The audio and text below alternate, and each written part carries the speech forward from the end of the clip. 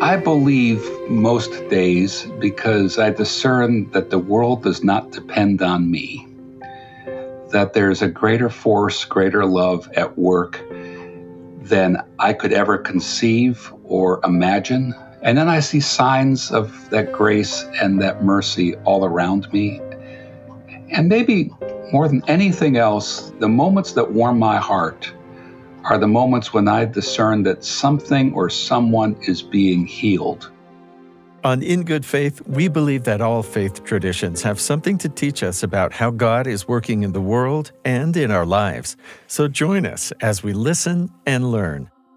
Today on In Good Faith, we get to combine jazz with the gospel. And I don't know how often that happens in your life, but after talking with our guest today, I've decided not enough.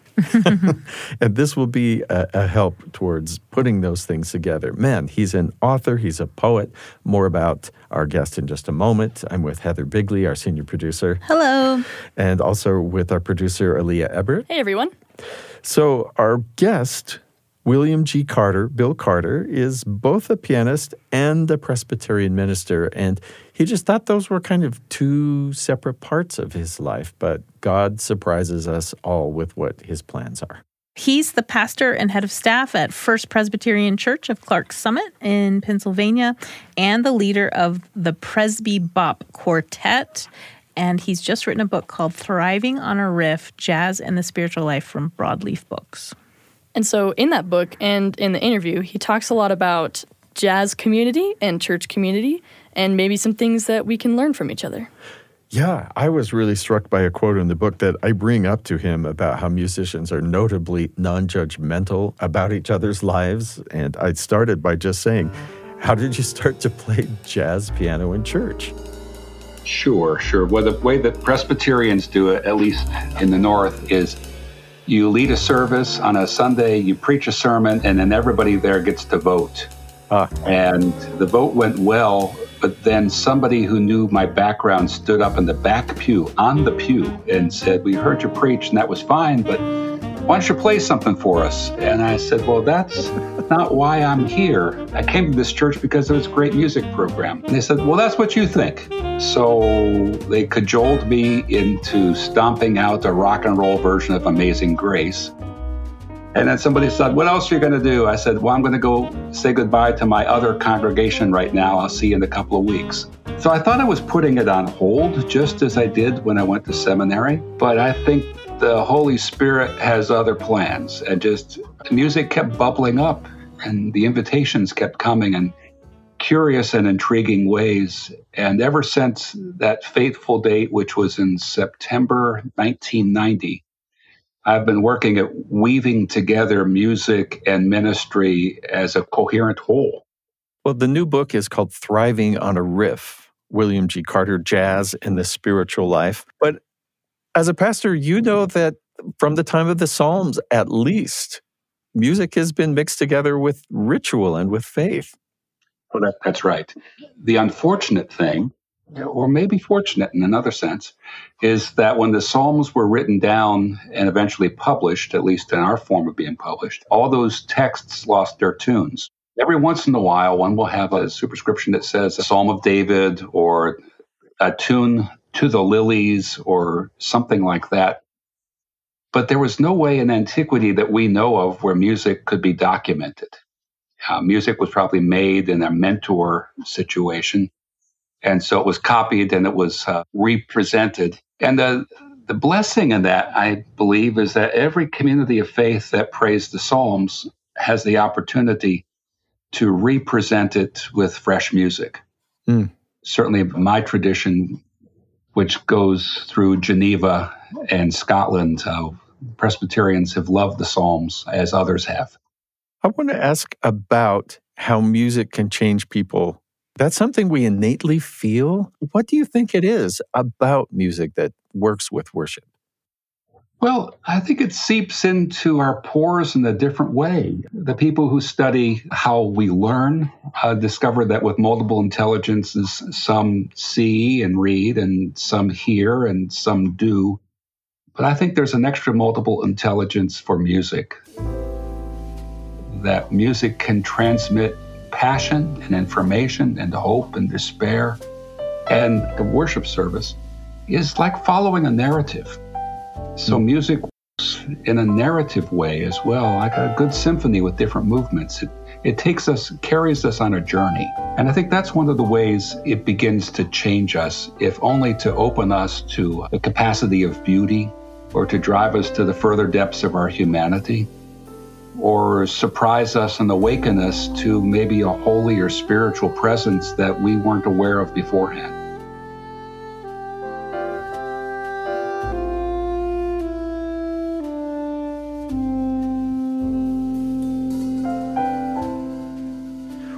Talked about to carry them on a journey. Have you have you had to carry your congregations on a bit of a journey to expand their minds to jazz in the worship service? Oh, sure. Oh, sure.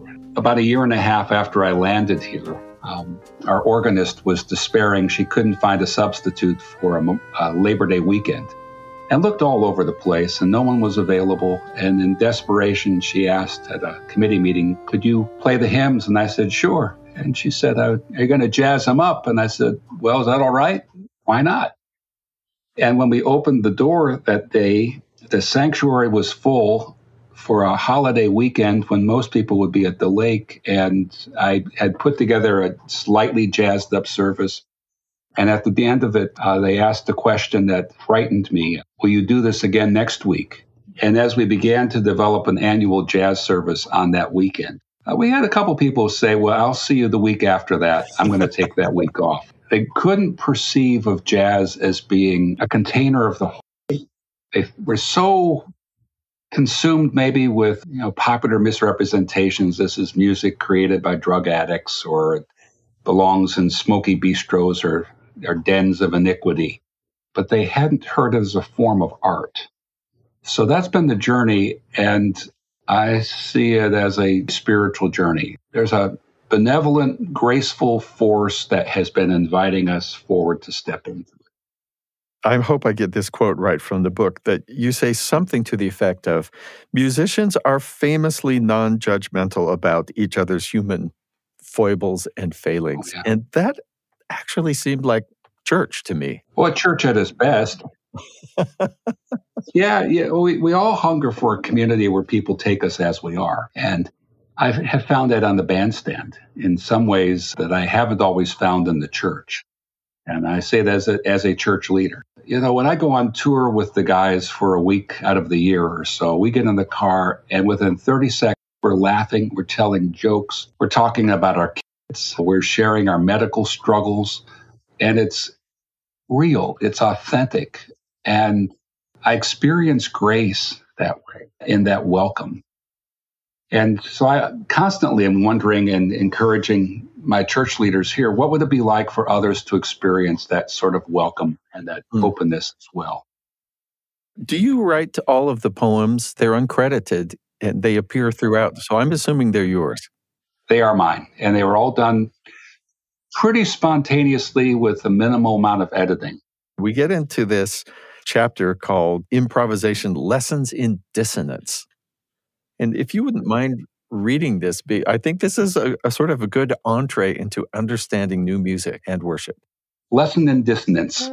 She pushes down two adjacent piano keys, flinches, declaring, That's ugly.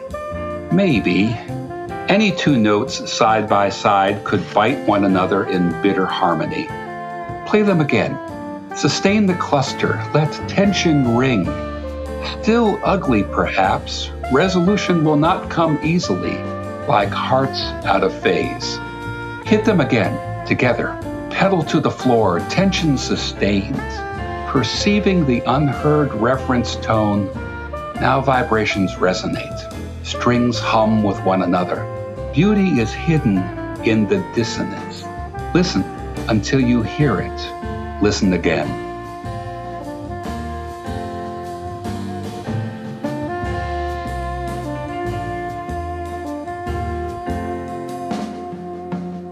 that beauty is hidden in the dissonance, that implies a necessary bit of searching or contemplation about it.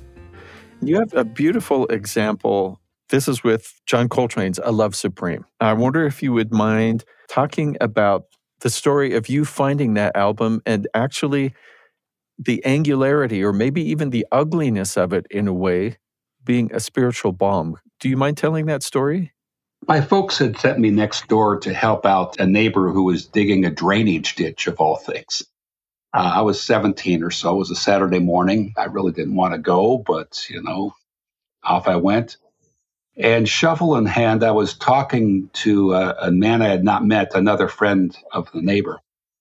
And he found out I was a jazz musician or wanted to be. And he said, Have you heard John Coltrane's A Love Supreme? And I said, Well, I've, I've heard the name Coltrane. I really haven't found that.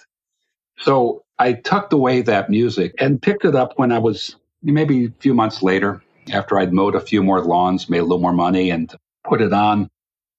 And instantly, members of the household said, Would you please turn that down? It was harsh, it was strange, it was bizarre, but I listened to the whole thing and kind of tucked away and thought, well, I spent good money on this. I'm not going to throw out the album or give it away.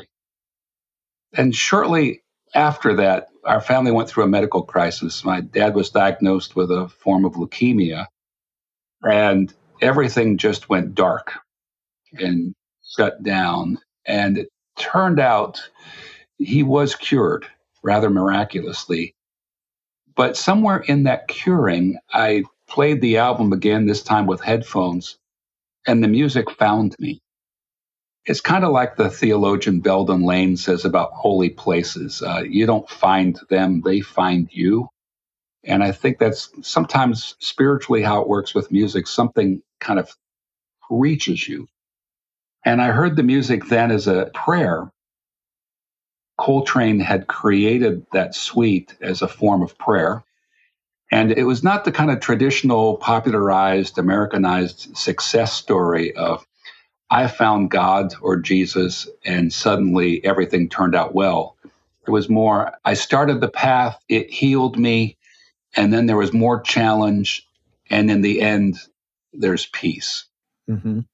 Which is how Coltrane perceived it, which is, I think, a much more valid path. It, again, like Amazing Grace, uh, many toils, snares I have already come. There, there are bumps on the road, and yet there's something that carries us through, and the promise of that Sabbath, that rest, that peace, that restoration.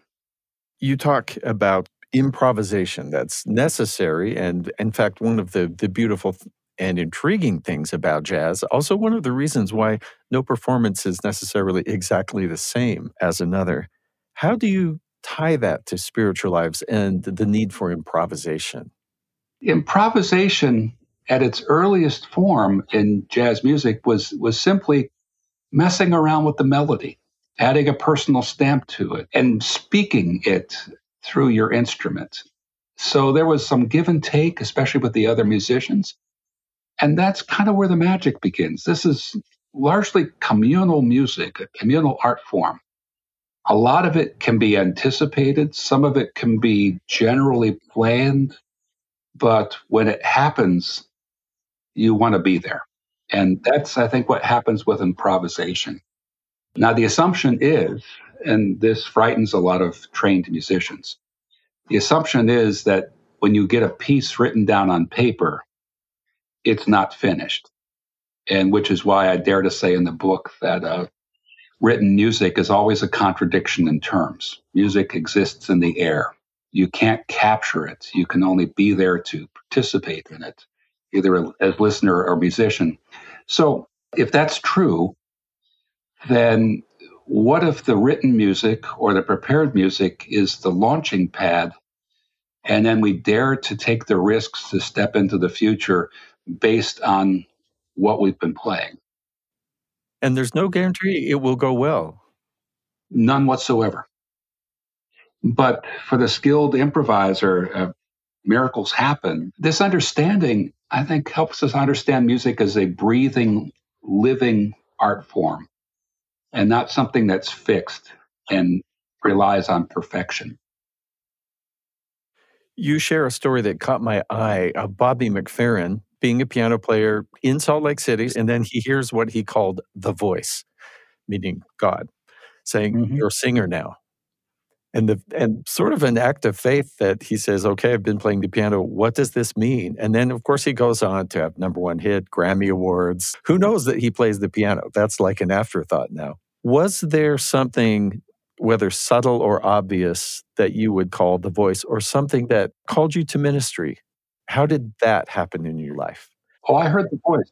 Yeah. I assume you were already a believer, perhaps. Yes, I was raised within the church. I had accepted what I had been taught, and I knew there was more to it than I had been taught, which let this be a reminder to all of us in the religious sphere. We get some of it right, and there's even more. And as I began to explore options for my life, I thought it was going to be pre med. And I'm in an institution of higher learning in the New York system and very scientific. And I get in there and I realize this is not for me. In fact, I was in a science library studying calculus based physics, and God spoke up and said, Get out of here. But as I began to explore where, where might the door be opening for me, the idea of ministry surfaced. And I at first shrugged it off, thinking, no, I'm a churchgoer, I'm a believer, but I'd rather listen to preachers than become one. And yet the door opened and opened and opened. And then, with kind of rather a narrow view of my own spiritual life, I thought, well, if I'm going to be a pastor and a preacher, I can't be a jazz musician. And then over a number of more years, it just became more and more clear that the Spirit of God had other ideas. And so the journey for me has been one not only of improving my skills however I can, but integrating them. So, not pastor by day, pianist, jazz musician by night. Yeah, yeah, and superhero on the weekends. no, not at all. It's it's it's. I mean, the spiritual life is this life. It's the life that we have. It's not waiting to rest on a cloud with golden harps. It's this life, and the next life is the great mystery that awakens to us when we get there. For here and now, how do we live joy? How do we live freedom? How do we live imagination? How do we build community? How do we address pain and racism and the ills of society? I mean, these are all deeply spiritual questions. If the spirit means anything, it means at least all of that. This book is actually my exploration of those kind of questions. You're listening to In Good Faith. I'm Stephen Kapp Perry, and we'll be back with more in a moment. Hi, I'm Stephen Kapp Perry, host of In Good Faith. Nothing captivates me more than people setting out on an adventure, especially if it's a place I wish I could go to or a subject I wish I knew more about, but I don't live in the right place or I don't have the equipment or the expertise. I'm telling you about a podcast from our BYU Radio family of podcasts, an award winning podcast called Constant Wonder. With host Marcus Smith, you'll be expanding your horizons on all kinds of discovery. It could be science, it could be art, history, and more. Do you need that feeling of awe and wonder in your life more? I do. And I love it when I see how to experience that by hearing the stories of people who are doing and exploring all of those things that are so interesting to me. Check out the podcast, Constant Wonder. Welcome back to In Good Faith. We are talking with Bill Carter, a pastor who is also an author. His book is Thriving on a Riff, and a working jazz musician. I read that you often ask people, How has God found you through music? How do they answer? I think about it for a while because they have not tended to think of music in that way. They've tended to think of music as a soundtrack or as entertainment or as an event, but not as something that is a moment of communion or or conflict or even challenge. So I had a friend who was going through a tough time. They had lost a job, they had lost a marriage, the kids were alienated. And we were talking one time, and I suggested a couple things. He said, What should I do? I said, Well, why don't you, first of all, start working through the Psalms, and especially the ones you don't know, because there's a lot of pain lifted as prayer.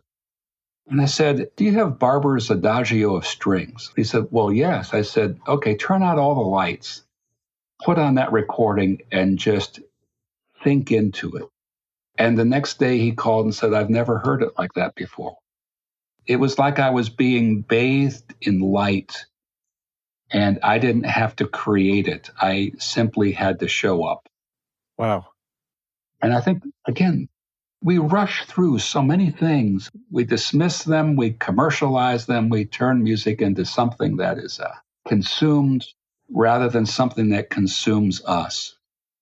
There you are in a jazz quartet. Is there something you learn about community in a setting like that that could apply to a church or just our communities in general? Well, a few things. First of all, everybody has something to offer and share. Second of all, we have to make room for others to do that and not dominate the conversation. And one particular piece of that with jazz is everybody is not the soloist all the time. Uh, sometimes you back up, and sometimes you just need to be quiet and let them play. And that it's okay because we're held in a certain kind of communal container. It's like any relationship, a marriage or friendship, where there's a lot we can assume and presume because of the love and history that we share.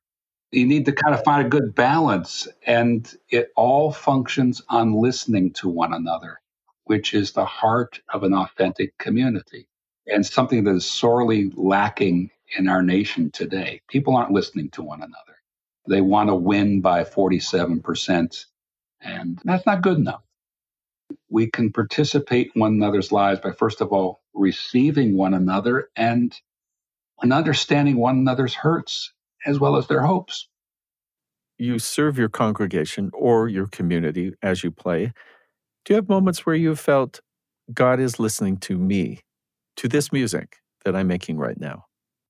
I can remember moments in concerts or in recording sessions when I just felt like there was applause somewhere off stage it's fleeting and I, I don't want to give into it too much lest my head be swollen. But yeah, I, I do think there are moments when we resonate with the holy purposes for the universe.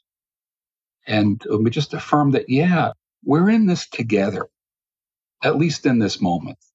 You know, jazz is, is maybe the only form of music I know where mistakes that happen live are actually forgiven and must be forgiven. And as the great trumpeter told us, it's not the wrong note, it's the next note that matters. Is that Miles Davis? Miles Davis, yeah. It's the next note. Herbie Hancock hitting the wrong chord, and Miles kind of gives him a sideways glance and makes the chord sound right by playing something fresh. And they go on from there. That's a great story. Can you put your finger on why in your life have you been a believer? I believe most days because I discern that the world does not depend on me, that there's a greater force, greater love at work than I could ever conceive or imagine. And this is not made up in my imagination. And then I see signs of that grace and that mercy all around me. And maybe more than anything else, the moments that warm my heart are the moments when I discern that something or someone is being healed. The Jews have this great word, tikkun olam, which means that the healing of the world. Mm. And that, that guides their social principles. I've seen signs of that. And that's evidence for me of the holy of God. And then I begin to read into and reflect on the narratives and the texts of, of my tradition and sometimes of other traditions. And I suddenly am given a name for this or ways to understand it. A lot of what we detect as scripture, it, it contains field reports of the same kind of benevolence at work in the world. And that's why I believe. Bill, I could spend all day talking to you. This is so interesting to me, and you're such a good storyteller and thinker. Could you read the poem on 194? And this is a true story. This is a poetic improvisation called Are You Going to Talk About Heaven? The thin, grizzled drummer removes cymbals from their stands, A curious soul, he asks, So, you are writing a book? What is it about? I pause to consider how to condense all these pages into 30 seconds of attention. Abundant life does not fit neatly in an instrument case. Stepping into my fermata, he asked fervently, Are you going to talk about heaven? What can we say of heaven, God's domain? Is it the period on the paragraph, the fine on the tune, or is it a comma with an eternity? Is heaven flooded with colorblind justice? Is everybody healed? Will hungry musicians eat after the gig? Here is what I know. Heaven is a jazz solo, sweeping all in its wake. Every foot taps, every head nods, every soul leans forward, and nobody wants it to end. Eyes glistening, he hears the music. That was Bill G. Carter, pastor and jazz pianist, talking about music and its relationship with the gospel. One thing I really liked from his interview was his discussion of multiple different times in his life or the life of one of his friends where music really struck a chord, I guess you could say. Ah, ah, ah, um, and God was able to kind of communicate with them through that way. And that's definitely something I've seen in my life that God has talked to me through that language of music over and over again. Yeah, so he started off in this audition, and someone who knew of his musical prowess stands up when he's interviewing and says, Aren't you going to play for us? And he's like, Oh, well, what does that have to do with being a pastor? Surprise, surprise, the gifts God gives us. And I love where he talks about that he didn't set out to do this, but he just said doors kept opening for him, which I thought was just a really interesting way of, of being led that we end up in surprising places in our lives. Bill Carter, he's in a jazz ensemble, and he talks about how within the ensemble, you have to support each other, you have to make space for each other, and sometimes you just need to be silent while the other person is sort of doing all the cool stuff, right? And you don't need to be jealous, you don't need to hog that. You just can appreciate it and support it happening. Many thanks to William G. Carter for speaking with us today and for the chance to use music by Presbybop in this episode. You heard Rumpelstiltskin, Streams of Mercy, Let Them Go, Set Them Free, Deep Calls Unto Deep, Pray for Light, and Adoro Te Devote. You can find Presbybop on Spotify Music. This episode was produced by Heather Bigley. Our production team includes Aaliyah Ebert, Leah King, Katarina Martinic, James Sturdivant, and Josh Orton. Our post production sound designers are Lauren Sandberg and Brandon Lewis. In Good Faith is committed to the idea that we all benefit from hearing people of widely varying backgrounds share their personal experience with faith and belief. In fact, we think people with such experience deserve some of our best listening. If you love interfaith understanding, if that's important, leave a comment or review at YouTube, Spotify, Apple, wherever you listen to In Good Faith. That helps spread the word. And on social media, find us on Twitter or X at In Good Faith Pod. Instagram and Facebook are In Good Faith Podcast. YouTube is youtube.com slash at in dash good dash faith. In Good Faith is a production of BYU Radio. I'm Stephen Kapp Perry. I hope you join me again soon, right here in Good Faith.